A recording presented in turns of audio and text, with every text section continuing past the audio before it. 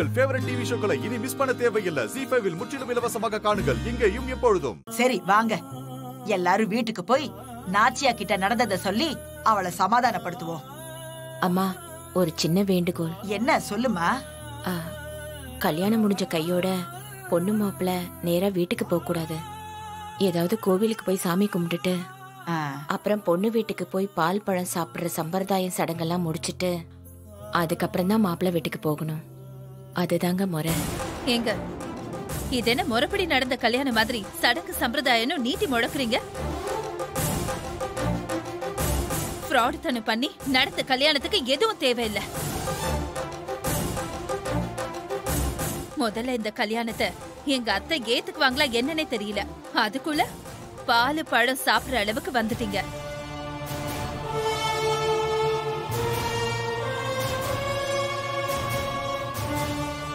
அத்தை இத்தனை நாளா என்னதான் மருமகளே மருமகளேன்னு வாய் நிறைய கூப்பிட்டுட்டு இருந்தாங்க இப்ப தீபாவ காட்டி கார்த்தி மாலையும் கழுத்துமா போய் நின்னா அத அவங்களால தாங்கிக்க முடியுமானே தெரியல.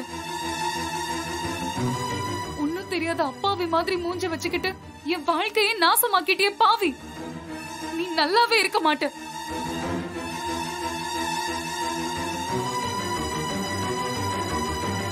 அம்மாடி நட்சத்திரா இனிமே கோவப்பட்டு எதுவும் நடக்க போறதில்ல. நடந்தது நடந்து போச்சு. பிடிக்குதோ பிடிக்கலையோ அதை ஏத்துக்கிட்டு தான் ஆகணும்.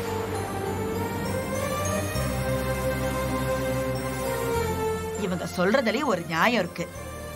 முதல்ல பொண்ணு மாப்பிள்ளை கோயிலுக்கு போயிட்டு அதுக்கப்புறம் இவங்க வீட்டுக்கு போய் இந்த சடங்கு சம்பிரதாயங்களை முடிச்சிட்டு அதுக்கப்புறமா நாச்சியாவை பார்க்க போலாம்.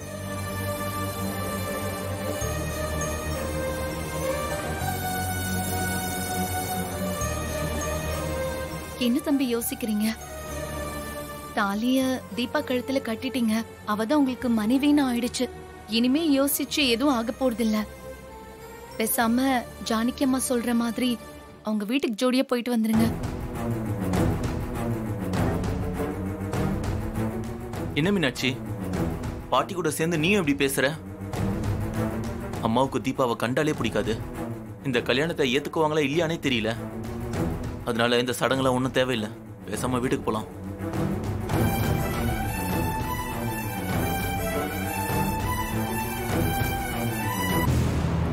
ஆ நட்சத்திரா தான் தன்னுடைய மருமகளா வரணும்னு நாச்சியா ரொம்ப ஆசைப்பட்டுக்கிட்டு இருந்தா.